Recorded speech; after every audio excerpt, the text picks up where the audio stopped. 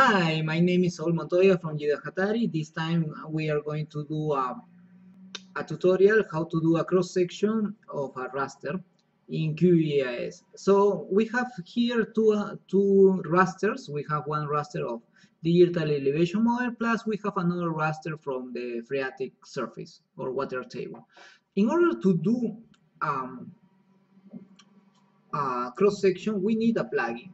So we from this this option that is plugin I have it in Spanish but from this option we go into manage plugins and uh, it requires a, con a connection to the internet and sometimes this connection could be very slow. I think that there is a lot of uh, QGIS users so that's why it is not fast enough. It, it used to be faster. Hmm? we wait and then we have this.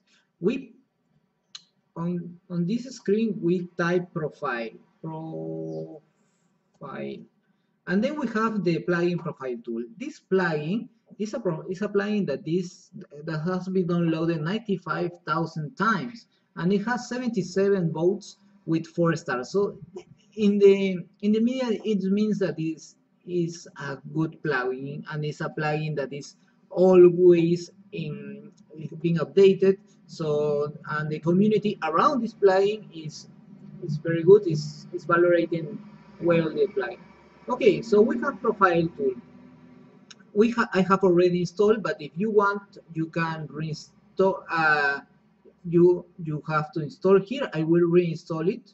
So again it has a connection to the internet and this can be a little bit uh, slow but okay let's wait a little bit.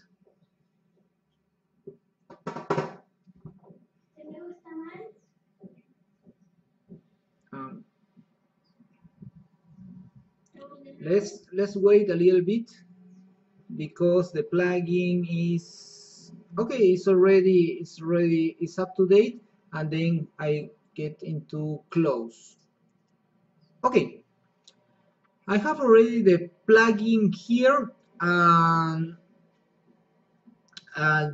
once you have it, the plugin installed it appears there it appears this option here terrain profile. If you don't find it just go to plugins and then go to uh, no it doesn't appear here. Or go to to right click to panels and then um, check if the toolbar of plugins is installed yeah? So I have already installed. To do the the cross section is quite easy. You just have to to move to to to select one let's say that I'm going to do Amsterdam and then press the plugin.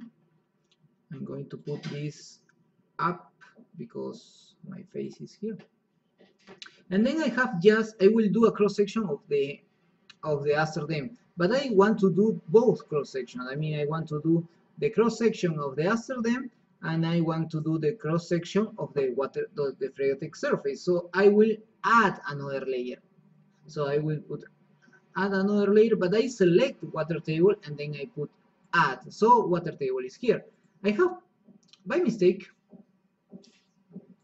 I have set twice the Amsterdam so I I select this one, just this one, and put remove layer. So I took it out. And both uh, Amsterdam and the water table has have the the same color. So I don't want the same color. I want um, a different color from them. So I put from the Amsterdam. I can put a surface, an arid surface here. And for the water table, I can put uh, this one maybe. Yep. So what what I have said here is the two surfaces that, that are going to appear on the in the cross section. So I go and it's quite easy. It's really easy. Just press one point press another point one point another point then double click and automatically it appears the water table and the Amsterdam wow. Very interesting.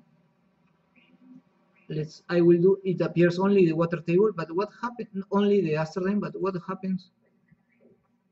Ah, okay. Uh, both has to be checked otherwise it won't appear in the cross section. So you can see here that we have the what the the the surface elevation and we have the phreatic table on our on our cross sections. And then you can do like multiple alignments. So if you want to go this way because you want to represent the lowest part of the basin double click. And it appears the what is supposed to be the lowest part of the basin. Uh, you can do any type of of cross sections or as many as you want. It's really powerful. It's it's really it's quick. You can export it as a pdf you can export it as a jpg and png and if you want the the table i mean you want because maybe you want this to to export to excel for example and then you you want the coordinate of the point you go to table and then you pick up the coordinate of the point copy to clipboard and then paste it on excel. So this is um, this is the end of this tutorial of how to do a cross section with QGIS please follow us by by our Facebook that is facebook.com Water and our Twitter that is the same twitter.com Water. And thank you for this. Um, and if you like what you have seen just give like to this video as well. Um okay see you